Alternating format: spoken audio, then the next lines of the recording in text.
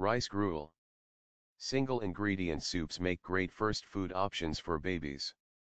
Rice soup is easy to digest and a good source of protein, vitamins, calcium, and starch.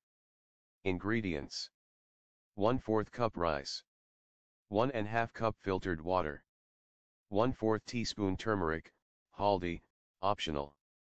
Method Boil the rice in water, you can add turmeric if you wish, until it is well cooked and soft. Mash or blend it to get a slightly runny, soup-like consistency. Watery soup isn't very nutritious so keep thickening the consistency slowly as your baby adjusts to this meal. Initially offer your baby just the rice soup alone, and then gradually using the rice soup as a base, include pureed vegetables to make it more nutritious. Variation In this recipe white rice can be replaced with brown rice, which has more fiber.